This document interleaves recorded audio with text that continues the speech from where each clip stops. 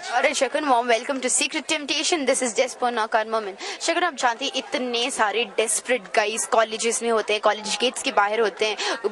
आपके साथ कोई इंसिडेंट हुआ है जहाँ पे एक लड़के ने आप कमेंट पास किया और आपने एक अच्छा सा अच्छा खासा एक्शन लिया है, आपके पेरेंट्स को बोला है अपने फ्रेंड्स को बोला है, वरना आपने खुद से एक्शन लिया है। ऐसा कुछ इंसिडेंट हुआ है आपके साथ? हाँ हुआ है। एक बार मैं और मेरे दोस्त जा रही थी।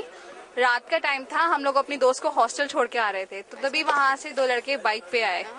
तो they commented on my friend तो मेरे पे तो कमेंट नहीं किया बट मेरी फ्रेंड पे किया। तो वो तो कुछ बोल ही नहीं पाई।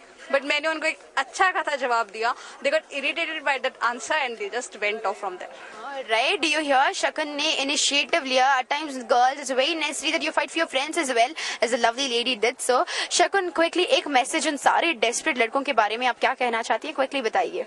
डेस्परेट लड़के के बारे में मैं ये कहना चाहूँगी कि whenever they comment on any girl they should think that on their sisters someone can make comment also.